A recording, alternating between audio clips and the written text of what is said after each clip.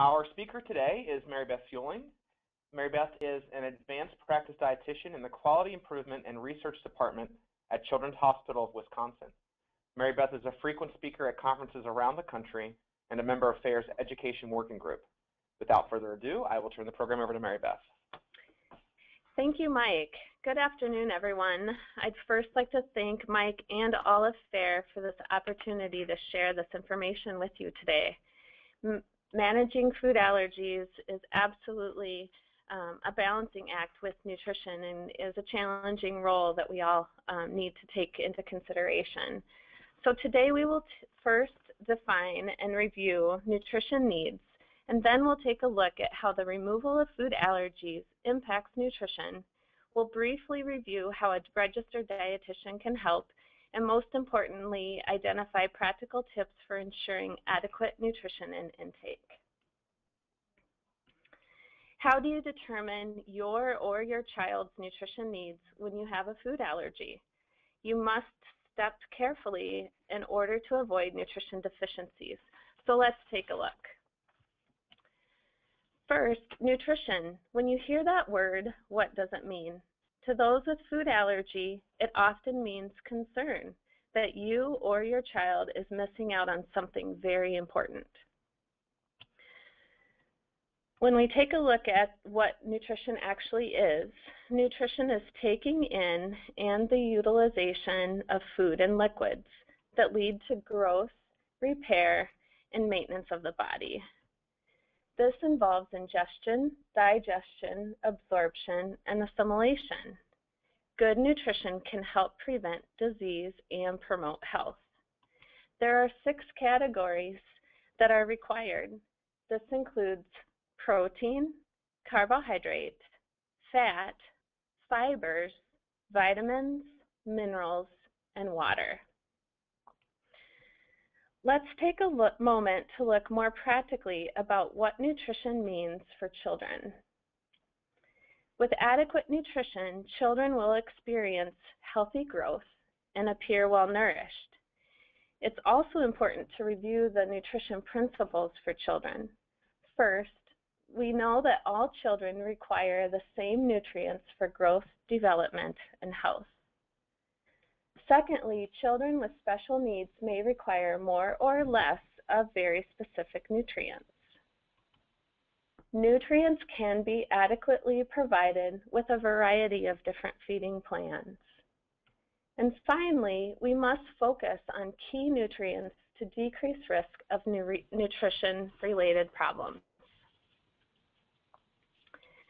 What are the growth and weight goals for children and adults? Children must be plotted on an age-appropriate growth chart and monitored over time. Following the growth curve and BMI curve is an indicator for children for nutrition status. With adults, they should maintain a healthy weight by using the body mass index with a goal of 18.5 to 24.9. Again, this is one indicator of nutrition status. In addition to weight and growth, nutrition distribution and intake is the second indicator of nutrition status and extremely important. A child, um, a child may gain weight but could be malnourished due to the type of calories they are consuming. This is increase this increases the risk when is increased risk when eliminating foods from the diet. Therefore, we must review the plate to help everyone understand what are the required nutrients. Anytime one or more food groups is avoided, there is increased risk for inadequate nutrition intake. If we understand what each of the foods groups provide, it helps us with identifying what the risks are and how to substitute or supplement for what we must what must be avoided for food allergy. Let's take a list, look at the list of the food groups. It includes grains, vegetables, fruits, dairy, and protein. As we move forward with our discussion today, we're going to take a look at what each of these food groups provide nutritionally. When we take a look at grains, one of the most important nutrients is fiber. This is important for proper bowel function and provide, provide a feeling of fullness with fewer calories. Grains also provide many different types of B vitamins. They play a key role in metabolism and are essential for a healthy nervous system. Folate is another B vitamin that helps the body form red blood cells. When we take a look at vegetables, vegetables are naturally low in sodium, fat, and calories. They also provide a great source of potassium from many different vegetables. You can see the list here includes potatoes, tomatoes, beans, spinach, lentils, and kidney beans. Vegetables are also a very important source of fiber, and this helps reduce blood cholesterol levels, helps with proper bowel function, as well as the feeling of fullness with fewer calories. Vegetables are also an important source of folate, and they provide two additional vitamins. Vitamin A, which keeps the eyes and skin healthy and helps us protect against infections, and vitamin C, which helps heal cuts and wounds, keeps teeth and gums healthy, and aids in the absorption of iron. The next food group is fruits. When we take a look at fruits, they too are naturally low in fat and sodium and calories. Fruits also are a great source of potassium from bananas, peaches, and apricots. Orange juice are just some examples. Fruits also are a great source of fiber, but we need to remember that the fiber will only come in the form of the whole fruit or the cut up fruits. If someone is consuming juice from fruit from juices, they typically are receiving little to no fiber and miss out on the benefit. Vitamin C is also an important source from fruits, which again helps with growth and repair of all the body tissues, helps heal cuts and wounds, and helps for healthy teeth and gums. Finally, fruit is also another important source of folate, which helps form our red blood cells. Next is this important group of dairy. Dairy is an extremely important food group that includes nutrients that may not be provided from other food groups. This includes calcium, which helps with building strong bones and teeth and maintaining bone mass. Milk is also a significant source of potassium, and potassium, in addition to the other things previously mentioned, also helps maintain a healthy blood pressure. Dairy also is our source for vitamin D. Vitamin D functions in the body to maintain proper levels of calcium and phosphorus to build healthy bones. Fat is another very important nutrient from the dairy and milk group. Milk products are providing an essential source for fat, and if they are consumed in their low fat or fat free form, then they provide minimal fat. It's important to remember that we can safely replace dairy and milk with a combination of food, beverages, and nutritional supplements. We'll expand on that a little bit later. Protein. Protein is just one of the great food groups that really is helping us out in the world of food allergy. Protein provides lots of nutrition from lots of different areas, and protein provides uh, besides the protein, B vitamins, vitamin E, iron, zinc, and magnesium. Protein also functions as the building blocks for bones, muscles, cartilage, skin, and blood. Building blocks for enzymes, hormones, and vitamins. And protein is providing calories. With the B vitamins, this has, helps release energy and plays a vital role in the function of the nervous system. Iron is used to carry the oxygen in the blood, and magnesium is used in building bones and releasing energy from muscles. Lastly, zinc is a necessary nutrient for biochemical reactions and helps the immune system function properly. I have taken liberty to add in one additional food group from that's not included with my plate, and it's the nutrient of oils and fats. we need to remember that we need to have a good source of fat in our diet. It's needed for good health. This oils provide a source of essential fatty acids, which is required. It also provides a source of vitamin E. But just remember, oils still contain calories. So we need to balance getting in enough, but not too much. Now that we have reviewed the nutrients we need, let's take a look at how the diagnosis of food allergy impacts nutrition. If we understand what is avoided, it will help determine what nutrition goals need to be set to meet nutrition needs for that individual person.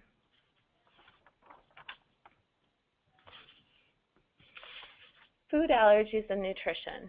Research tells us that a restricted diet absolutely will affect the nutrient intake and increases the risk of nutrition deficiencies and poor growth. We know that providing the needs are challenging and will increase stress. It is critical to have nutrition monitoring, and it's important to continue to have ongoing education. Always remember, increased number of food allergies means increased nutrition risk. So what are the food, major food allergens?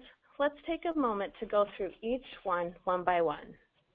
First, milk provides a good source of many nutrients essential for bone mineralization and growth. Eggs provide a source of quality protein as well as many other micronutrients you or your child will still easily get an adequate amount of proteins when egg must be eliminated if he or she is not allergic to other protein sources such as milk, meat, poultry, fish, nuts, and legumes. Soybeans provide one of the highest quality proteins in the diet. If you emphasize eating a variety of fruits, vegetables, enriched and fortified grains, and tolerated other sources of protein such um, and are able to tolerate other sources of protein, restricting soy in the diet will pose less of a nutritional risk. Peanuts and tree nuts are a good source of protein in the diet. However, those who avoid nuts of all types should not be at nutritional risk since there are many other sources of protein, Fish and shellfish. Fish is another good source of protein. If you must avoid fish, you can find the same nutrients in other protein sources such as meats, grains, and legumes. Finally, the eighth allergen, wheat. Grains contain variable amounts of protein, a source of carbohydrate when fortified, and a good variety of vitamins and minerals. You can substitute flours for alternative grains to provide the same nutrients as wheat. However, you must choose alternatives carefully as many are not fortified. Another reminder is that eight foods cause 90% of the allergic reactions in the United States. So research also tells us that at least 25% will have a vitamin and mineral deficiency if they're avoiding foods for food allergies. We know that it impacts the macronutrients, the amounts of calories, protein, carbohydrate, and fat, but it varies depending on the combination of allergens that are being avoided. We also know that risk increases with additional problems of picky eating feeding difficulties such as delayed advance of diet, any social or environmental concerns that are impacting eating, anytime there's poor growth or underweight, and or if there's any financial concerns.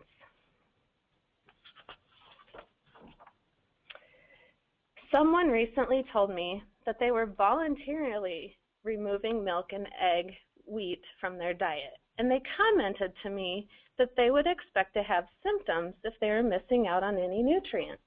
Otherwise, they felt that they would be just fine. Unfortunately, if symptoms are present, this is a sign of severe deficiency. It is important to realize that with careful meal planning, these health risks can be avoided even with the severely restricted diets. So some of the health risks of poor nutrition are the following. If we don't get in enough calories, we can, that can lead to malnutrition. Inadequate protein leads to low muscle mass and poor immune function. Inadequate fat leads to essential fatty acid deficiency. Inadequate iron results in anemia and poor endurance. Inadequate calcium and vitamin D have significant impact on our bones. Zinc, vitamin A, C, and E will result in poor wound healing. Inadequate zinc also leads to altered taste and potentially poor appetite. And vitamin K is critical for poor blood clot to avoid poor blood clotting. So keep in mind that we don't want to wait for deficiencies to show up as symptoms, but we need to be proactive in planning for adequate nutrient intake. Earlier this afternoon, we reviewed the nutrition that each of the eight common food allergies provide. This slide offers alternative substitutions for the avoided food. You will notice there is a common link Meat and legumes provide many of the missing micronutrients and may need to be increased in the diet. For example, milk, when that's removed, it can be a lot of the nutrition can be made up from eating meats, legumes, whole grains, nuts, mushrooms, fortified foods and beverages, fish, bright and yellow orange vegetables. Soy we can include, if we avoid, um, the substitutions can be meats, legumes, enriched whole grain bread products, eggs, nuts, peas, seeds, milk, and dried fruit. Wheat, we can find lots of alternative fortified grains, soy, legumes, egg, milk, nuts, seed, apples, banana, spinach, and potatoes. The second slide rounds out the rest of the food most common food allergies. Unfortunately, often children that are newly diagnosed are young children that may or may not eat meat or some of the other textures well. So you might need to prepare the meat or some of the other foods in alternate forms as a way for, to make it easier for them to eat if they have not yet mastered all of their feeding and chewing skills. Feeding skills must be considered when making substitutions. To help us better understand how the removal of foods are, affecting nutrition as well as our food choices, let's take a look at a case example. This is an example of a toddler's diet without food allergy. Typical diet, right? Eating three meals, three snacks, and drinking whole milk. When we look at the nutrient analysis of this diet, it's great. The toddler is meeting all of their nutritional needs for everything except vitamin D. Now, the same toddler has now been diagnosed with food allergy to milk, egg, and peanut.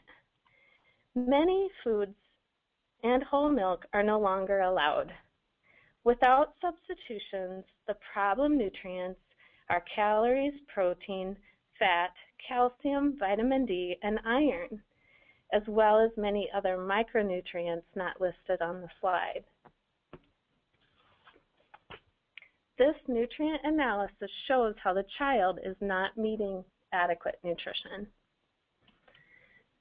However, with education and guidance for substitutions and supplementation, in most situations, the child or adult is able to take in adequate nutrition. Many of the substitute foods are similar to the foods that the rest of the family is eating, but are instead prepared allergen-free. So when we look at the nutrient analysis with the substitutions, this shows how this child is able to meet all the nutrition goals except vitamin D. In this situation, the child would also need a multivitamin to help ensure adequate vitamin D intake.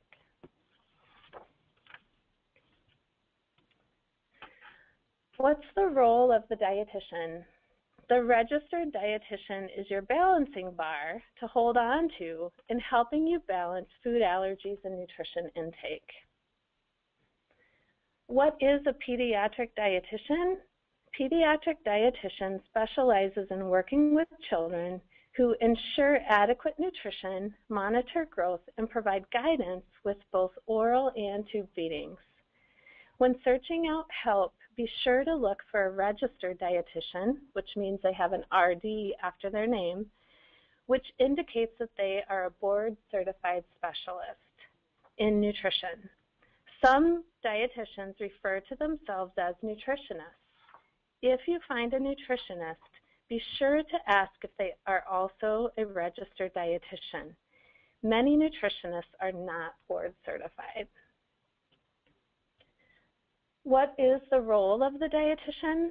The role of the dietitian is to provide education for the avoidance of food allergens. This information is taking information from the allergist who has determined what foods should be avoided. The dietitian's role is to help you learn to read the labels, identify foods and beverages that are appropriate substitutes, and review the nutrition risk for you or your child. With that information, they also should be monitoring growth and weight, providing guidance um, based on the results of those weight and growth indicators. They should be evaluating and monitoring intake, provide recommendations regarding multivitamin and mineral supplements, and they should also make recommendations for any nutrition labs that should be drawn depending on the situation.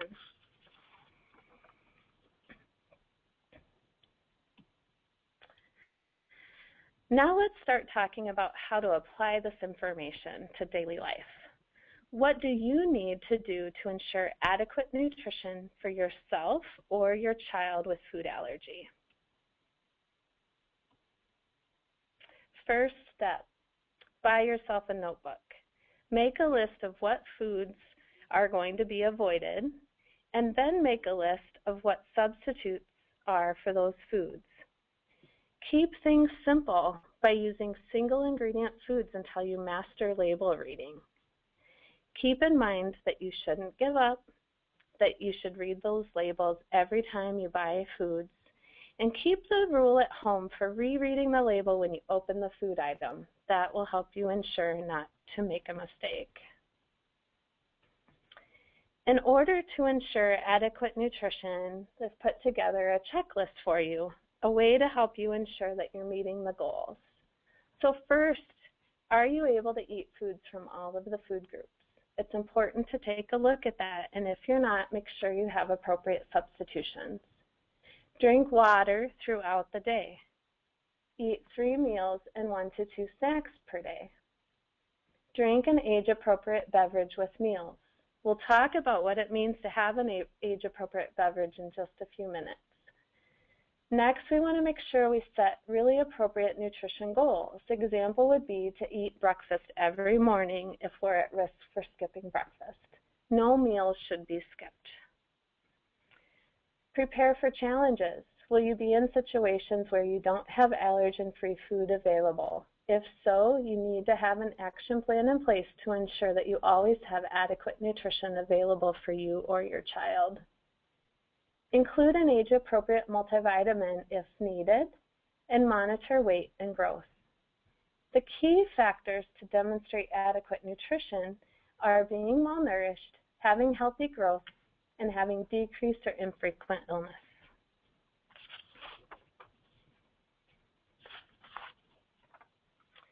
Next, we can create a personalized meal plan. Each person who has food allergies needs to make sure that they personalize the goals for themselves. It's different for everyone. The key to a healthy, nutritionally complete diet is this plan. Part of the plan is to identify the age-appropriate drink, and it's also to make a list of the allowed foods and breaking it out into the five food groups. With this information, you'll create a list of missing nutrients due to food allergies. Then you want to incorporate protein, prepare a list of foods and supplements to replace those miss, missing nutrients, and incorporate protein at least three times a day. As you move forward with your personalized meal plan, this is a list of tips for trying to keep it as a healthy eating habit. So balancing the diet with allowed foods, and a balanced diet means consuming foods from all food groups, consuming foods in the right quantities, and making appropriate substitutions for any food groups not in the diet due to food allergy. For more information on serving sizes for all ages, you should go to www.myplate.gov. On their website, you are able to put in the age of the patient or child or adult to put together a feeding plan that provides you with information regarding serving sizes. Keep the plate in mind. We want to make sure that all five food groups are incorporated as much as possible or appropriate substitutes are made. And on the side, we must include fats, sugars, and sodium, but in many cases, we need to limit the quantities of those that are consumed. So we talked about the, the drink. How do we think about the drink? An age-appropriate beverage is key when cow's milk must be avoided. In some cases, you may need to give your child supplements when they're avoiding cow's milk. If he is at an age when a specialized milk-free formula is a large part of his daily diet, supplementation may not be needed. You may be able to use milk alternatives as an acceptable substitute if your child is over one year of age. Soy milk, fortified rice milk, grain and nut milks, such as oat and almond milk, can be substituted if tolerated, but need to be fortified with additional nutrients. It is important, however, to review the nutrition information on the package to check the amount of protein, which should be 8 grams per 8 ounces per serving. Calcium fortified juices will provide additional calcium, but are not a good source of the other nutrients. So let's take a look at some of the alternatives. The grocery stores are flooded with these milk alternatives that make many different types of health claims.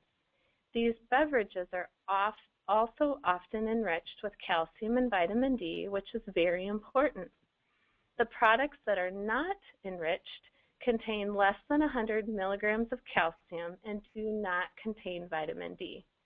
The age-appropriate beverage must provide a source of at least calcium and vitamin D, and if possible, we want it to provide fat and protein.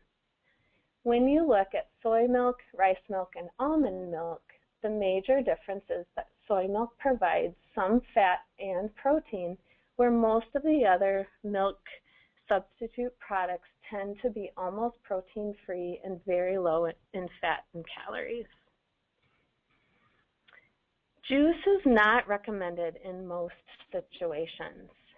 If a child or adult is severely, severely restricted, we may use fruit fortified fruit juice in some rare cases. Otherwise, we want to focus on using one of the other beverage supplements. Formulas are required if a child or adult is unable to meet their calorie, protein, vitamin, and mineral needs with their combination of food and beverages. There are several formulas to consider, and there is a category for soy, there's a category for hydrolyzed, which is partially broken down protein, and the third category is the amino acid-based formulas, which are the free amino acid-based formulas and are essentially allergen-free, but still provide protein, fat, and all the other nutrients. This is a comparison of the milk alternatives. Keep in mind that not all milks are created equal and should be carefully reviewed prior to the implementation into the diet. Most are inappropriate for children under two years of age due to providing the inadequate fat and protein. Calcium and vitamin D are two key nutrients that should be reviewed to ensure adequate nutrition. Remember that calcium needs change over time, and the older the child, the more difficult it is for them to meet their goals. This is the dietary reference intakes for all um, individuals regarding calcium and vitamin D. Most children and adults with food allergies should take a complete multivitamin. Complete means that it contains both vitamins and minerals, including iron. Avoid gummies, gummy multivitamins, as they are not complete despite the terms used on the labels. So if you're drinking 32 ounces of a complete formula or eating a wide variety of foods from all food groups, including dairy, you would not need a multivitamin. You might need a multivitamin if you're avoiding one major food group. You probably need a multivitamin if you're avoiding two major food groups. And you definitely need to take a multivitamin if avoiding three or more major food groups. Everyone needs a calcium and vitamin D supplement if they're avoiding milk and not drinking 32 ounces of enriched milk substitute or complete formula per day. Keep in mind that children, young children should not be drinking 32 ounces of an enriched milk substitute. In most cases, those children should be limited to 24 ounces. Therefore, many of these children will need additional calcium and vitamin D. This is just a few examples, not a complete list, of allergen-free multivitamins. Vitamins are changing on a daily basis, so just be sure to go to the store and read the labels and look for allergen-free information. All right, let's pick up with, um, I'm going to review the do you need a calcium supplement again just to make sure everyone got that information. Um, how do you decide if you need a calcium supplement? First, you should add up the typical intake of calcium in 24 hours from both the beverage that's being consumed and the multivitamin. If you're not meeting the minimum goal for your age from those two items, you should give additional calcium to meet the minimum goal. Additional vitamin D will only be needed if you're not taking a complete multivitamin, as most multivitamins will contain at least 400 international units of vitamin D. Calcium tips. So keep in mind when you're taking calcium that it, if you're going to take more than 500 milligrams per day, you should divide it into one, two or more doses. Vitamin D and vitamin C improve the absorption of calcium. A high fiber diet decreases absorption and iron competes for the absorption. Calcium supplements are available in pills, chewables, candies, and liquid forms, and they come in both calcium carbonate and calcium citrate.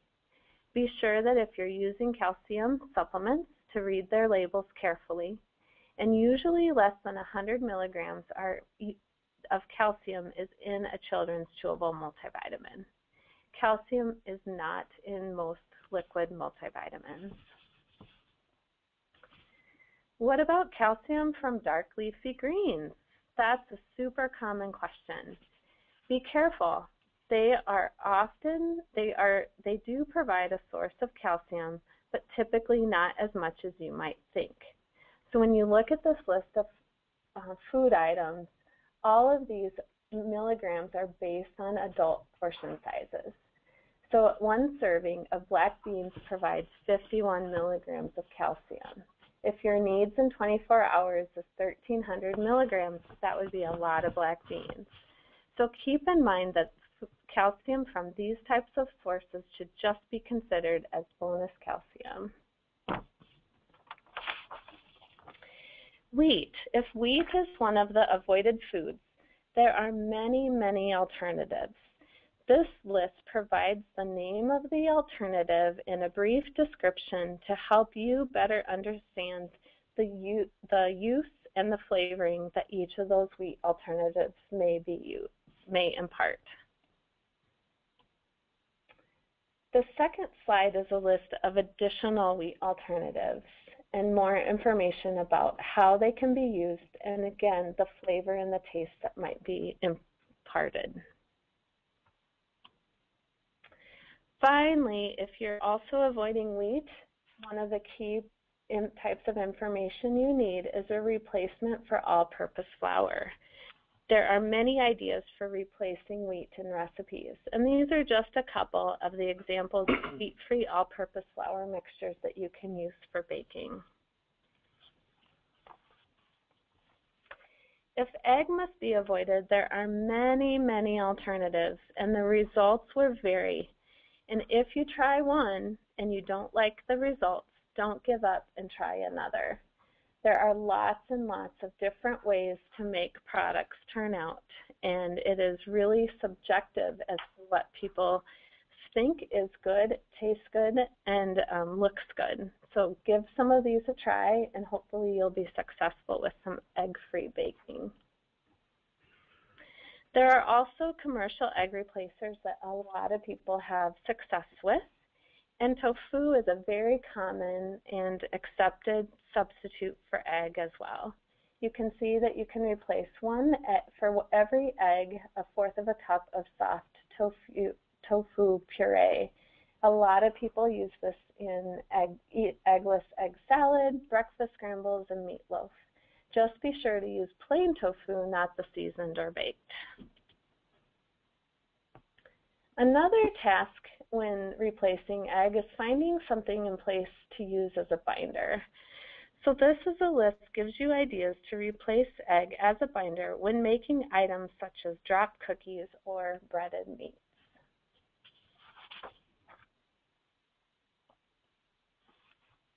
What are some tips for finding substitutions?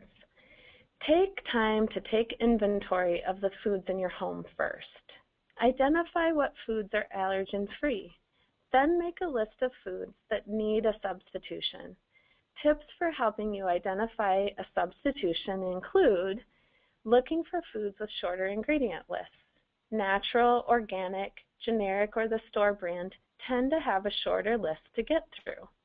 That doesn't mean that the long lists aren't allowed. This just helps you be more successful initially when you're overwhelmed. Research brands and food labels online. If you see a brand of food items that tend to have idea, have allergen-free foods for you, take a look at their website. See if there are some other items that that company makes that might be helpful to you. Also, check some of the online shopping websites. This is a great way to navigate through lots of brands of food products very quickly to help you identify some things that you might like to try. Also, check out um, recipes there are lots of recipes out there. So finding allergen-free foods can be very challenging. I know everyone that's listening has been overwhelmed by trying to figure out what to buy. The first step is to master reading labels. Make sure that you have the most up-to-date guidelines and information related to reading the food label. Next, there are many resources for assisting with locating and preparing allergen-free foods. With today's technology, there is easy access to thousands of recipes, the internet to research products and their ingredient statements, and even grocery, sh grocery shopping from your home using the online grocery stores. In addition to the internet tools, there are many more specialty stores opening up every day throughout the country. These stores are often very helpful as they will bring in items that are not available at the traditional grocery stores. However, always keep in mind that if you cook from scratch and focus on eating single ingredient foods, quickly the difficulty for ensuring allergen-free foods has drastically been reduced. I wanted to give you some ideas for snack ideas. These snacks if prepared appropriately, would be free of the top eight most common food allergens. Take a look at some cereals. Trail mix that you make from at home using your own choice of safe cereal, adding some dried fruits or pumpkin seeds or sunflower seeds. This is a place you can have some fun and be creative. Make your own homemade granola or buy something from one of the specialty stores such as Enjoy Life. Snack bars. Fresh fruit or even the canned prepackaged fruit cups can be really easy and convenient and something you can travel with. Applesauce, applesauce cups are great. Again, you can be transportable. Fresh vegetables with hummus or other dips made from allergen-free spreads are a great snack. Raisins and other dried fruits, again, you can be creative with making a mix. There are lots of allergen-free cereal bar recipes online now that you can make your own specialty cereal bars. Rice crackers topped with some sort of topping such as sunflower butter or a piece of turkey or chicken breast. Corn chips with salsa, popcorn, season the popcorn to have different flavors. We can look for pretzels and dip those pretzels in those allergen-free spreads or even taking a look for the all-natural meat sticks. This is just a list. Um, certainly it can be added to as there are a lot of different ideas for snacks. What are the basic guidelines for uh, nutrition and providing nutrition for the food allergic child or adult? First, we need to enjoy our food. We want to create and review that personalized meal plan. We need to work to incorporate fruits and vegetables into the daily routine with a goal of half the plate per meal. Make it easy for kids to choose healthy snacks. Have the things that you want them to eat available. Serve lean meats and other good sources of protein. Choose whole grain breads and cereals whenever possible. Limit fat intake unless you have a severely restricted situation in which you may be adding fat to your foods. Limit fast food and low nutrient snacks. Let's focus on the things that have lots of nutrition. Limit those sugary drinks as we don't want to fill up on liquids so that we aren't able to eat. A healthy eating checklist includes thinking the drink offer foods from every food group, keeping it simple, having regular family meals, being a role model by eating the same foods as your child, avoiding battles over food, set those guidelines and limitations so that you're not having a debate at every meal.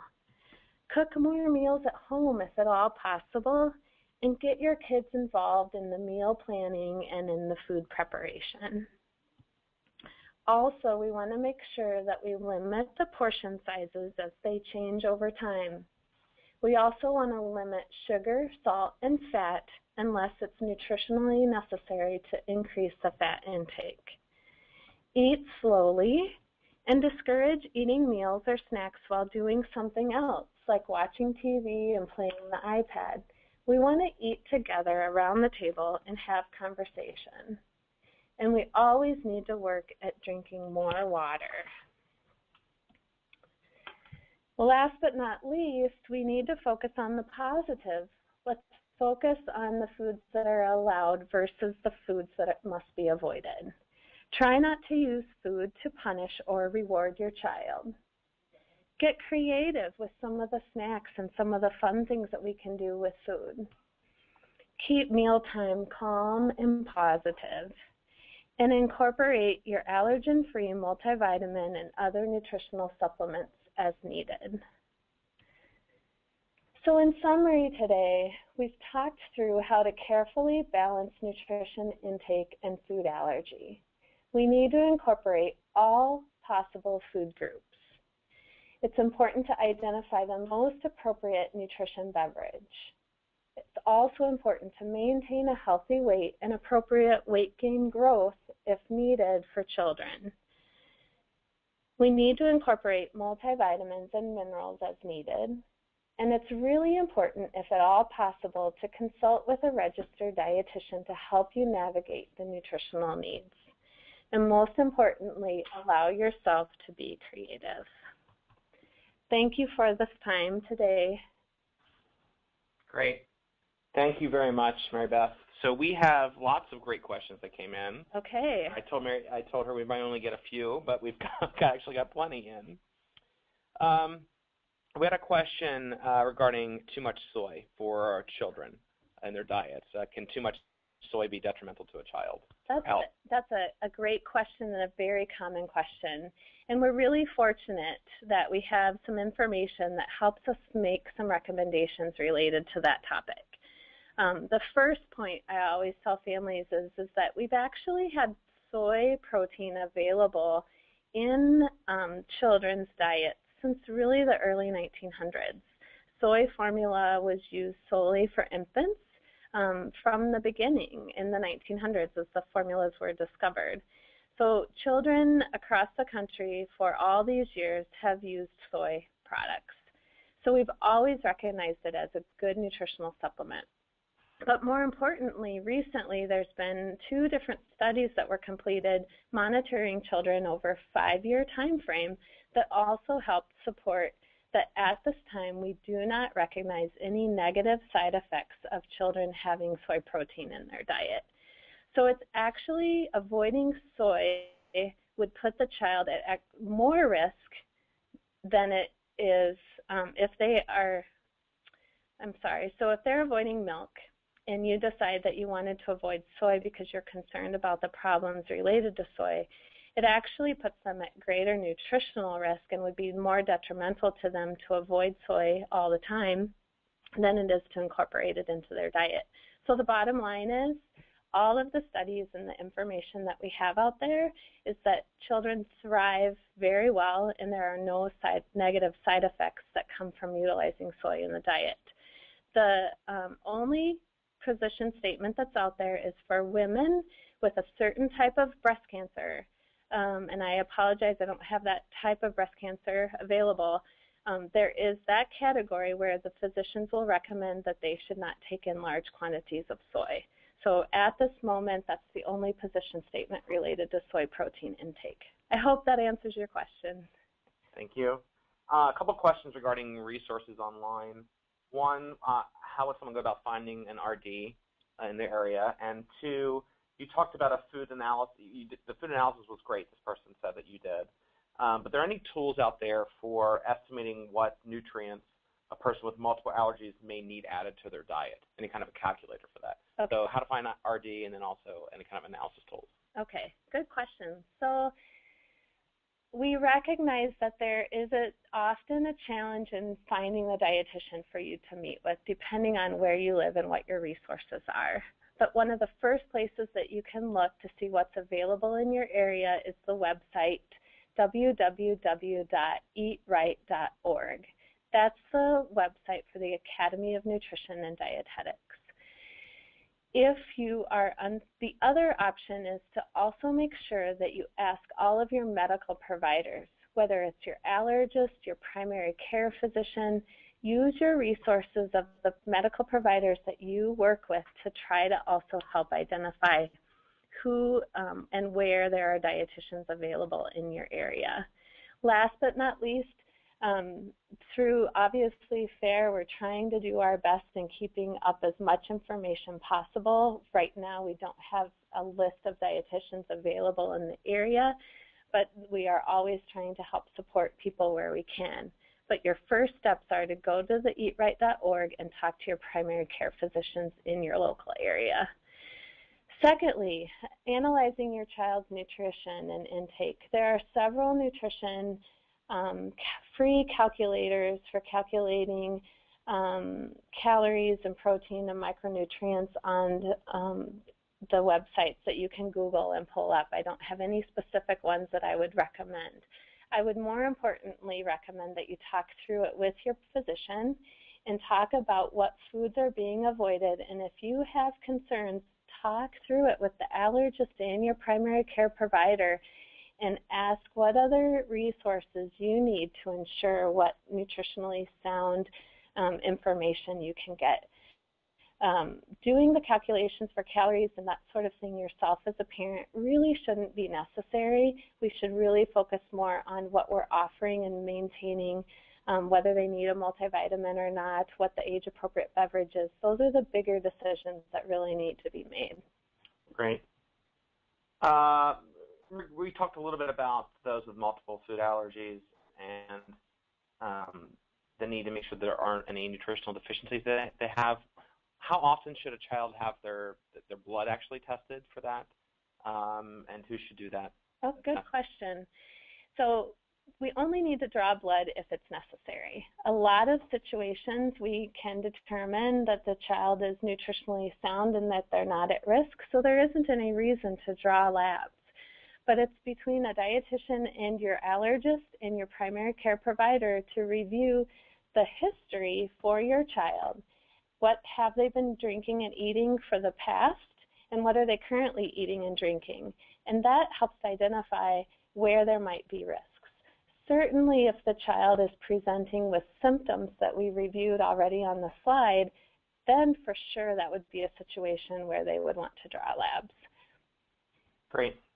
And I have a, a couple uh, specific questions, but uh, um, probably good for the rest of the group. We've had two people ask this question regarding coconut milk. Uh, specifically, would coconut milk be a good substitution for calcium in a child that's soy allergic uh, and also hates rice milk? Absolutely. Coconut milk can be included, and um, coconut milk obviously has nutrition that's more similar to the rice milk and the other beverages, so we need to use it cautiously, but it absolutely is often fortified with calcium and vitamin D and can play an appropriate role in the mix of foods that we're incorporating into the food allergic child's diet. For parents or families or adults looking to increase caloric intake because of limited diets, uh, any oils that you would suggest that you could add to food just to increase calories? Yes. So if we increase calories, there's two ways to do it. It's with fat and oil, and it's with sugar.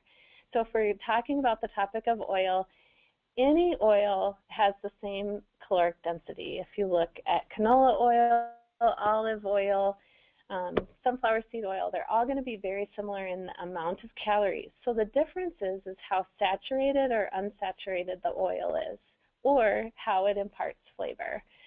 So if we're trying to sneak in more calories into a food and you don't want it to have flavor, canola oil is one of the best ones to use because you can mix it into something that essentially makes it so it disappears.